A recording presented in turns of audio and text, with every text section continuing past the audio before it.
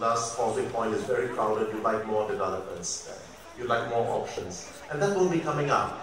In fact, the whole area from Causeway Point all the way to the Woodlands waterfront is slated for development in the next uh, 10 to 20 years. But these developments will take place bit by bit. And with your support, we can slowly bring us there.